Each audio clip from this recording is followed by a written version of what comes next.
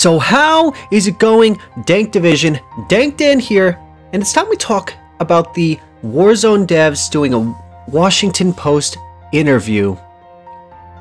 In which case, the developers Josh Bridge, who happens to be the creative lead of Call of Duty Live Ops, and uh, Ted Timmins, who is the senior creative director at Raven Software, to pretty much discuss a couple of things Season 3, the event coming up, as well as they actually asked questions about the future. That is right, the future of Call of Duty. So let's dive in. So the first thing that they ended up pretty much discussing was just where season 3 is going. They talked about how season 1 was just pretty much getting Caldera integrated, getting things kind of rolling. Season 2, they put their main focus into Rebirth.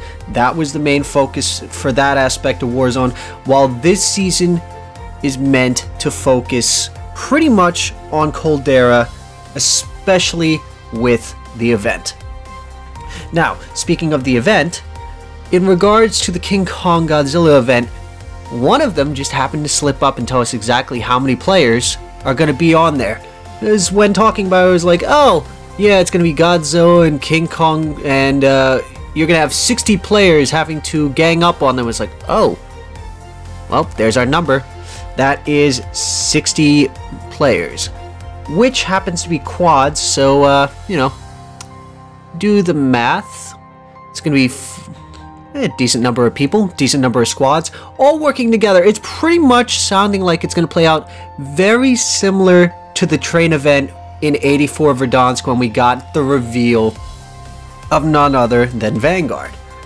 And let's face it, yes, Know Your History was a great event, but we also had it that I think a lot of people forget that people were gatekeeping the Bay of Pigs blueprint, that they were sitting where woods would be and preventing people from getting their hands on it.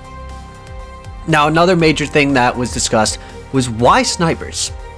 Why, of all times in Season 3 of Vanguard, was snipers the main focus of being edited in Warzone? There was a very simple answer. I don't think anyone's going to disagree.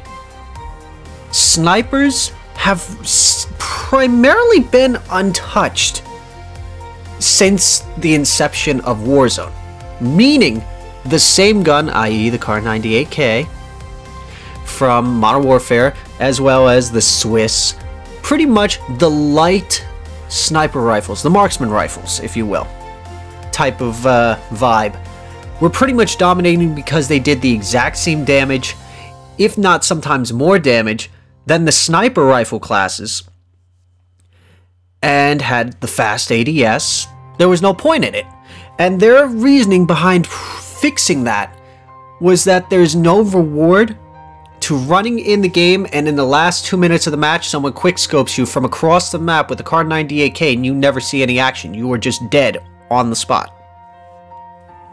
So with their tweaking, they decided to put snipers in their own thing and marksman rifles in their own thing. Now, granted, does this mean that the Kar 98K is useless? Hell no. The Kar 98K is always going to be a viable weapon, and so are the other marksman rifles. But it just means having to actually choose what you're going to do with these things.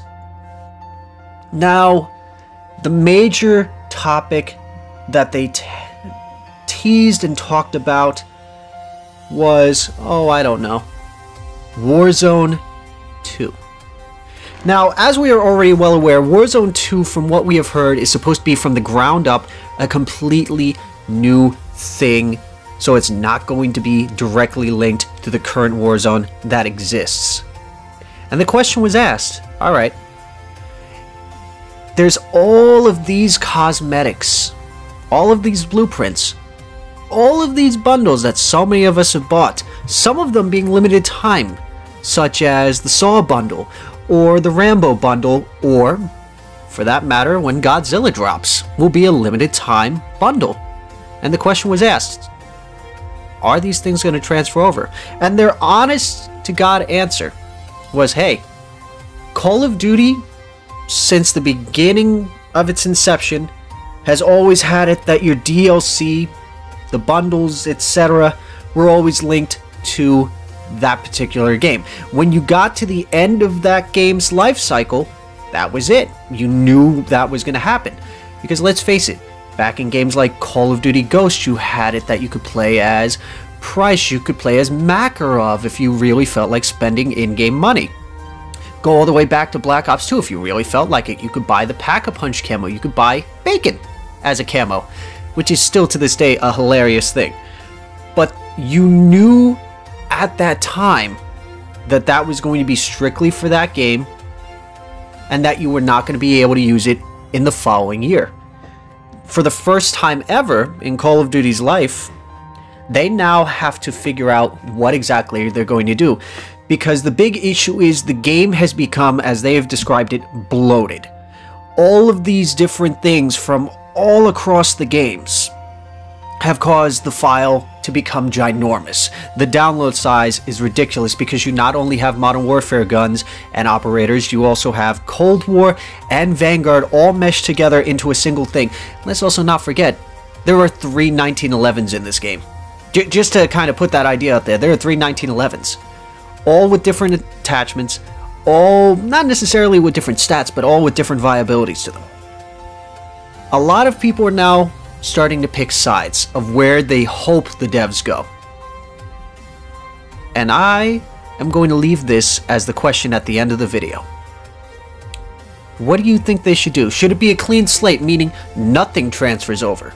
Meaning all of those bundles that you spent money on are going to stay in the current Warzone thing, and when you get to Warzone 2, it's a clean slate, everything's brand new, meaning the Rose skin doesn't exist, any of the cool skins that you bought not going to be usable? Do you think they should do the middle ground, which is the skins will transfer over, while the weapons won't? Or, or, or, or, this is the tricky one.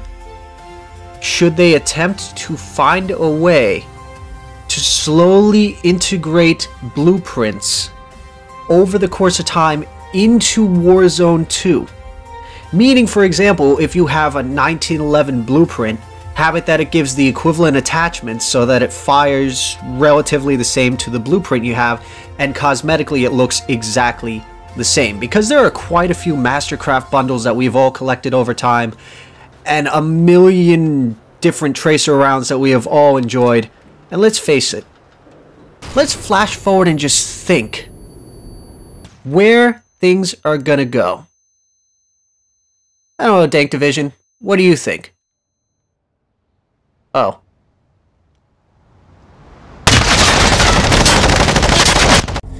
Get them to hit that subscribe button, Dank. It's the only way we can figure out the numbers. What do the numbers mean, Dank? We're wasting valuable time.